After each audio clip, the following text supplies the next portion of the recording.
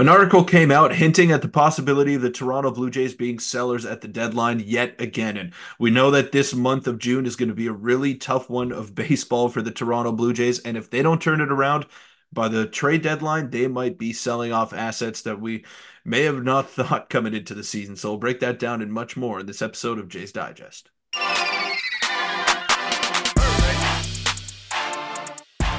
What's up, Jays fans? I'm your host, Peter Vryonis, alongside host Nick Gosse. Excuse the hair. I'm going to be getting a haircut soon. Excuse the beard also. It's not not too pretty to look at. So look at the look at the Nick side of your screen for this video. Do us all a favor and do that. Do yourselves a favor and do that. But Nick, some uh, reports are coming out here that the Jays might be sellers at the deadline. Yet again, we've been hearing these reports circulating over and over and over again. We don't have a definitive answer.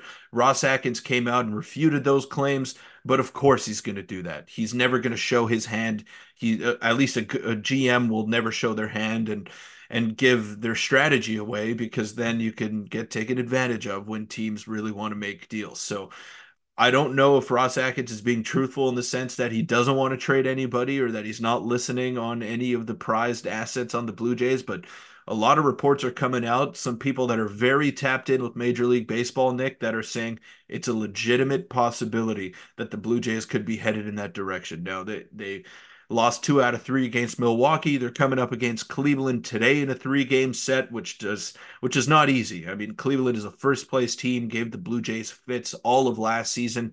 This month could go a long way in terms of determining the approach at the deadline for the Jays. And if they don't turn it around, if they don't get over that 500 mark and get themselves into playoff contention firmly by that date, then it could be curtains for a lot of the Blue Jays players. Yeah, the Jays are front and center in every single trade room you're seeing. That's because no one really knows how these next couple of weeks are going to go. But yeah, before we get into it, quick reminder to hit the subscribe button. But let's dive into what you said. Now, this is Jon Morosi. There's also another reporter because I know a lot of fans out there uh, you know, don't trust Jon Morosi. But MLB Insider makes prediction on the Blue Jays' plans at the trade deadline. Jon Morosi went on MLB Network and uh, summarized that the Blue Jays aren't ready to trade away Springer, Bichette, or Vladdy just yet. And he said, right now, I think the Blue Jays are still somewhere in the middle as to where they may go with this direction. I think right now, because of how leveraged the Jays are to win with this group this season and next year, they're probably going to still, I think, let this play out a bit longer. Now, Peter, they are three and a half games back of a wild card spot. And he basically said, I don't think we're going to see a dramatic sell by the Jays at this moment in time. I think for now, given what the payroll is, they're going to let it play out and see if they can at least get into that third wild card spot. But he also mentioned at the end that, like you said, if things go the other direction, they could be one of the most watched teams in baseball. I think they're going to be one of the most watched teams regarding the trade deadline in all of baseball, regardless, because if they choose to sell, they have the assets that no other team is actively selling. If they choose to, you know, remain pat, what does this team do from there? I don't know, but it's going to be interesting. Yeah, well, I, would argue and say that the White Sox have very well, good assets true. too at the deadline. Uh, Garrett Crochet could be on the block, who is has a ERA under three in 82 innings this season, and he's uh, struck out 13 batters yesterday. Only threw one off speed pitch. That, that was nuts. And then you have Luis Robert as well, who you know is is one of the premier power hitters in the game. Now, what I think the White Sox should do is keep those guys and build around them, but they seem to be eager to trade them and they're listening to trade packages. Yep. So I think teams might focus in on those two players and in tune the Blue Jays players maybe push down a peg because Robert can offer something that Vladdy and uh, and Bo can't in the terms of power.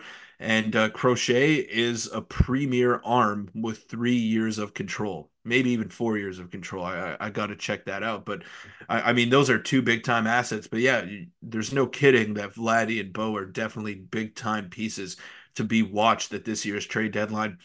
Well, I think they're. I don't think they'll get traded because the Jays are still in this uh, competitive window. They they made those renovations. They're still trying to sell seats. They're trying to sell season tickets they don't want to get rid of all the marketable players and and go in the other direction because that's not good for ticket sales and that's the bottom line you know? You want to be able to fill the stadium and generate revenue. That's the number one goal here uh, and then you want to win for most teams. That's usually how it goes. So i don't think either one of them is going to get traded this season but I definitely think it's a real possibility. Like if you get an offer for Vladdy or Bo Nick that includes top prospects, guys that you can build your franchise around for five to 10 years, I think they'll definitely listen and I think they'll do their due diligence on that part. But unless it's a surefire offer like that, I just can't see it happening. Yeah, similar to the Juan Soto offer where they weren't planning on trading him, and then an offer blew him away. It's, I mean, yeah. if a huge offer comes in, like Jon Morosi says, like they're in the middle right now. I mean, the team is in the middle. They're 33 and 35. They have a pretty brutal stretch of games upcoming. Guardians, they play the Yankees. If they don't do well with those stretch of games, the answer might decide itself. And then you look at another article, like there's so many articles, Peter, of just multiple trades yeah. that could happen. It's because of how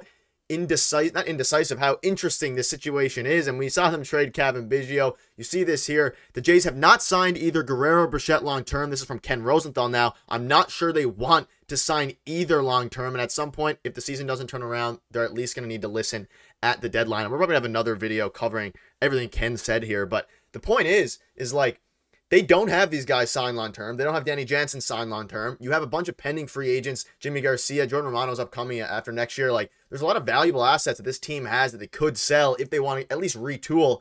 But if they just stand pat, I don't think it's a World Series contender anyway, but I do get the point of no. they make the money from the three game wildcard series playoff games, and that's really what they're focused on, as Jon Morosi. And like you said, I mean, it's just the way it is. Three and a half games back. If they go on a big run, they're not going to sell. If they start to uh, the, the, ground starts to fall underneath them, the floor. I don't know. It could seem like the, maybe they do trade one of the two. They're not going to trade both. I don't even know if they trade either of them, even if they fall out of contention.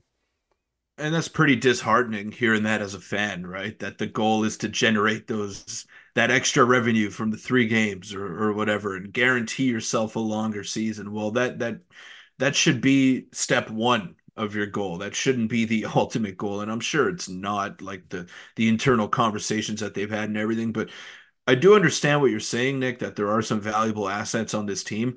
But at the same time, they're very young assets like Vladdy and Bo. So it's not like they're in their 30s and they're due for long term extensions. They're 25, 26 years old and they're due for long term extensions. So it's a little more it, it's a little more digestible if you're the Blue Jays yeah. front office to go ahead and sign one of those two guys or even both if you want to go in that direction. I don't think it's realistic for them to keep both because of the payroll, because of other guys making big time money.